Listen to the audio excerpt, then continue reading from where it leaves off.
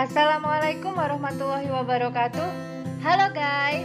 Bertemu lagi dengan saya Dewi Nursani dalam pelajaran akuntansi. Sebelum memulai pelajaran hari ini kita berdoa dulu yuk. Let's open our program by reciting basmalah together. Bismillahirrahmanirrahim. Semoga pelajaran hari ini berjalan dengan lancar ya. Simak video ini sampai akhir ya guys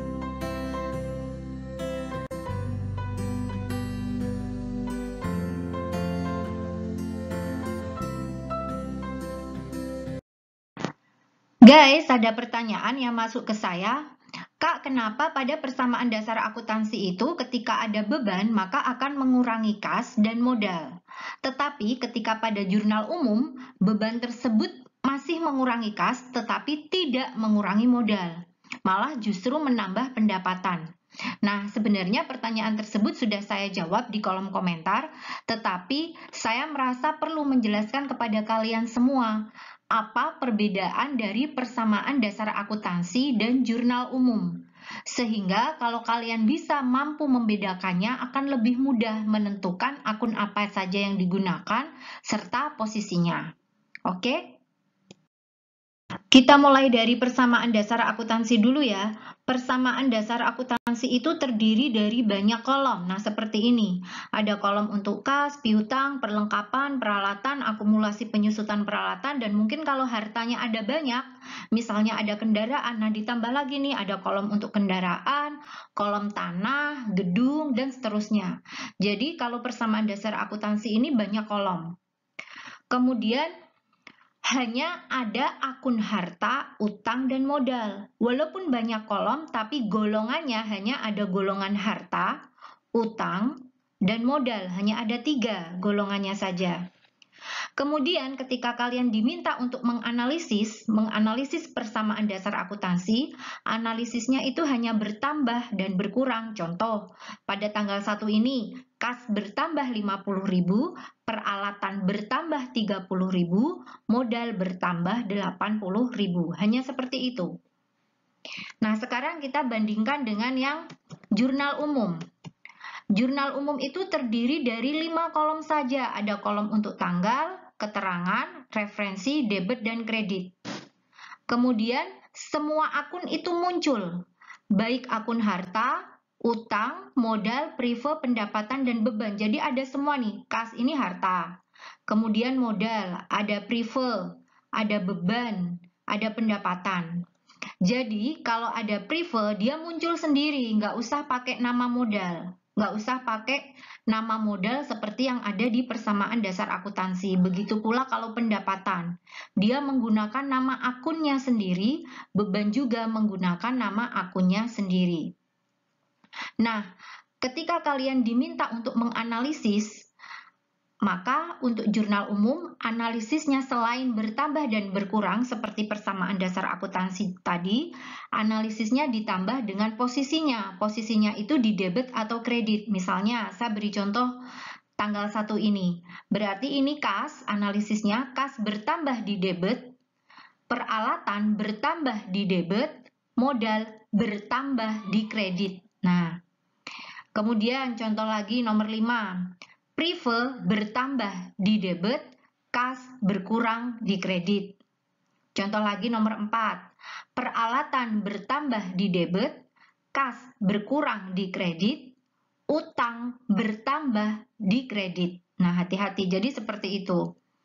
Analisis untuk debit dan kredit pada jurnal umum sudah saya sampaikan pada video sebelumnya ya. Silahkan kalian cek pada kolom deskripsi.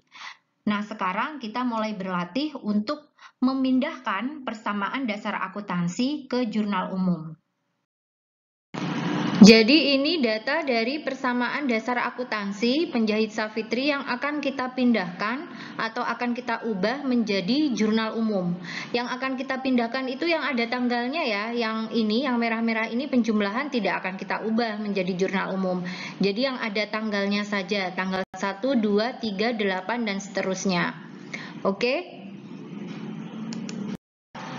Kita mulai dari tanggal 1 ya guys. Pada tanggal 1 itu kas bertambah sebesar 1.500 dan modal bertambah 1.500. Kita tulis di sini Januari 2020 tanggal 1 kas bertambah. Kas bertambah itu di sebelah debit. Kemudian modal, modal bertambah. Modal bertambah itu di sebelah kredit dan lihat nama akunnya. Nama akunnya menggunakan modal.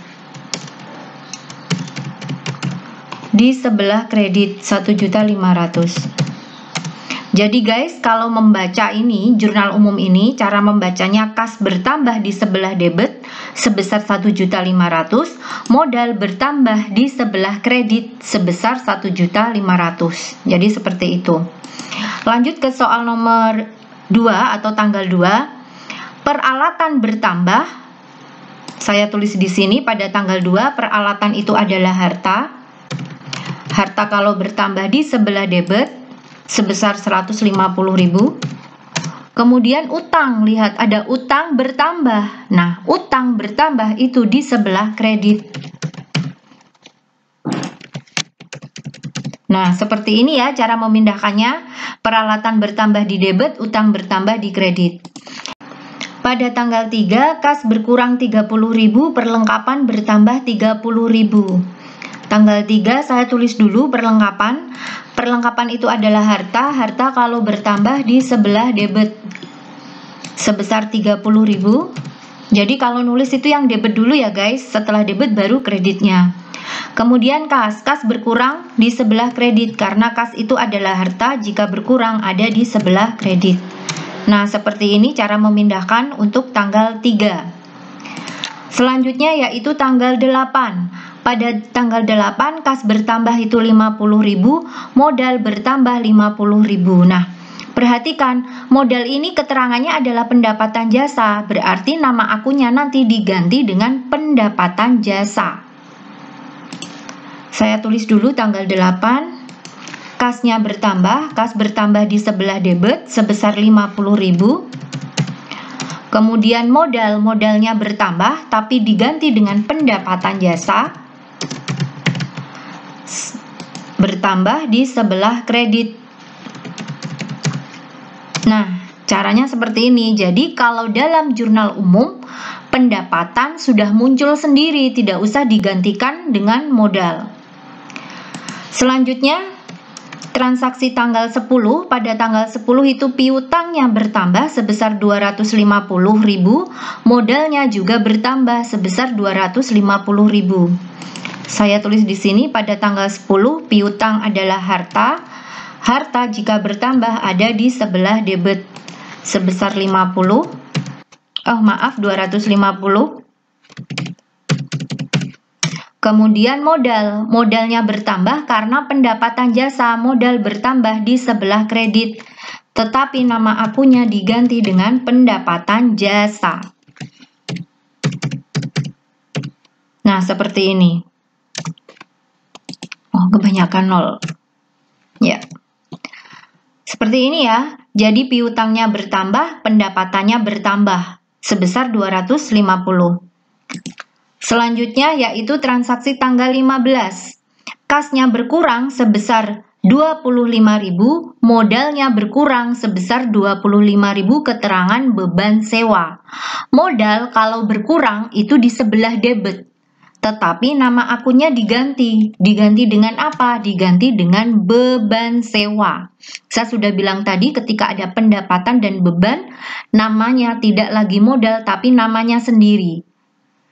Modal, sekali lagi modal kalau berkurang di sebelah debit ya. Nah ini saya tulis di sini di debit, tapi nama akunnya diganti dengan beban sewa. Sebesar 25.000, kas berkurang di sebelah kredit. Kemudian cara membacanya untuk nomor 15 sudah tidak lagi menggunakan modal tapi menggunakan beban. Ini kalau kita baca bebannya bertambah, ini berarti bebannya bertambah di sebelah debit, kasnya berkurang di sebelah kredit. Jadi seperti itu ya guys.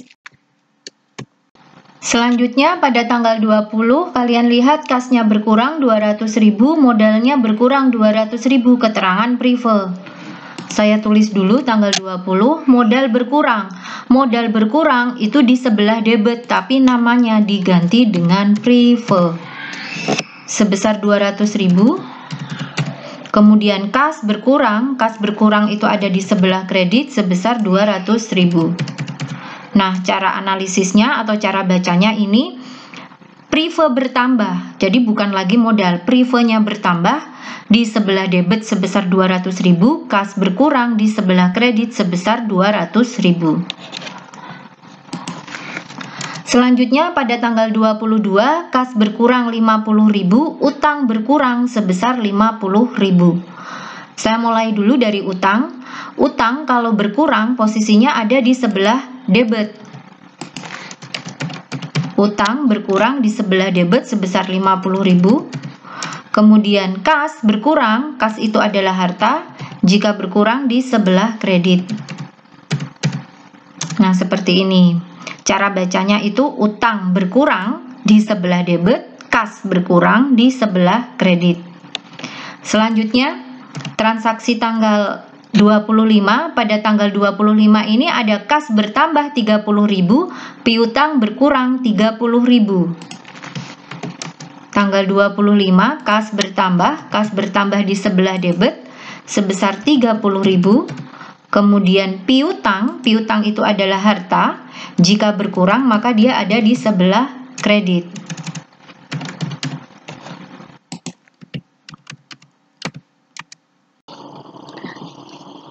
Lanjut tanggal 28, kas bertambah 120.000, modal bertambah 120.000, keterangan pendapatan jasa. Tanggal 28, kas bertambah di sebelah debit sebesar 120.000, Kemudian modal, modal bertambah di sebelah kredit tetapi nama akunnya diganti dengan pendapatan jasa sebesar 120.000. Jadi analisisnya kas bertambah di sebelah debit, pendapatan bertambah di sebelah kredit. Lanjut, pada tanggal 30 kas berkurang di sebelah kredit, kemudian modal berkurang di sebelah debit. Kita tulis dulu tanggal 30 modalnya berkurang, modal berkurang di sebelah debit tapi diganti dengan beban usaha. Karena di kolom keterangan ada kata-kata beban. Beban usaha sebesar 30.000. Kemudian kas berkurang, kas berkurang di sebelah kredit sebesar 30.000. Jadi cara membacanya ini tidak lagi modal tapi menjadi beban. Beban bertambah di sebelah debit, kas berkurang di sebelah kredit.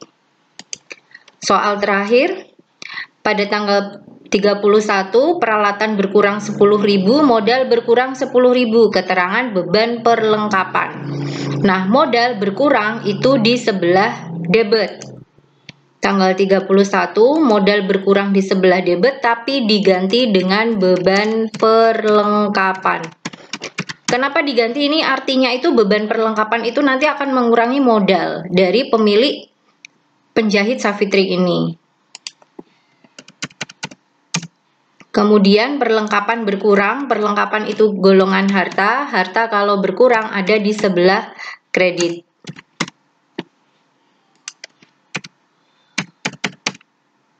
Nah, ini cara bacanya.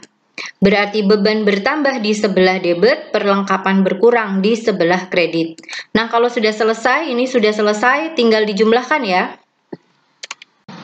Kalau sudah selesai dijumlah ya guys, dan jangan lupa kolom-kolom yang tidak terpakai seperti ini di strip ya, untuk menjaga kerapian dan agar tidak terjadi kecurangan. Nah, saya turunkan pelan-pelan. Nah, seperti ini sudah saya jumlah hasilnya untuk yang sebelah debit adalah 2.445 dan yang sebelah kredit adalah 2.445. Sama ya?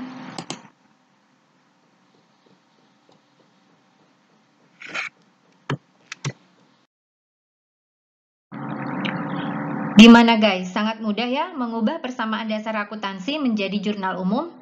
Oh ya, pastikan pula tulisan subscribe kalian berwarna abu-abu ya. Jangan lupa like dan share channel ini.